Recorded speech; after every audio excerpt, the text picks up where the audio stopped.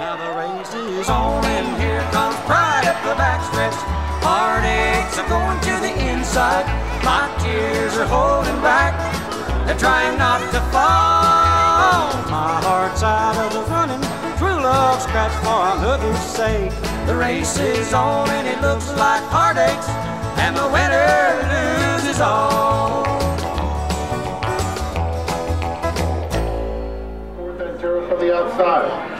Shuffling back is Bubba's Three Angels, losing ground steadily. Italian Monarch in the orange colors is starting to pick it up a bit, but sewn inside of him, then back on the road. Approaching the quarter pole with Arvac the one to catch, leads by a length and a half. Sea of change between horses and Terrace on the outside. These three at the quarter pole together. Italian Monarch is in fourth. They're at the top of the stretch. Arvac narrowly in front. Sea of change is chasing on, with Ford. determination second.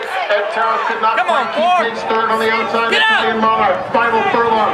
Get out, Ford. is a. Sea of change get on. Arvac, Ford, Sea of change. Arvac digging in very gamely on. Sea of change tried him, but he's second best.